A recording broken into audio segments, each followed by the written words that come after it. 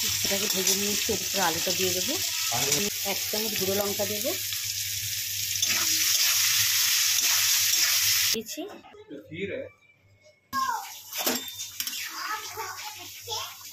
আলু সিদ্ধ হয়ে গেছে। এবারে আমি সর্ষে, এই বাটাটা দিয়ে দেবো সর্ষে আছে আর সাদা সর্ষে, কালো সর্ষে আর সামান্য একটুখানি জিরে আছে। এই বাটনাটাতে দিয়ে দেবো।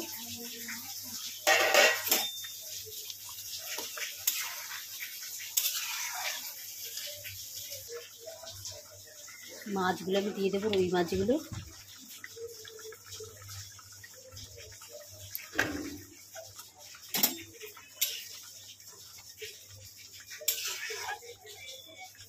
মিনিট পরে লাগিয়ে নেব সবজিটা।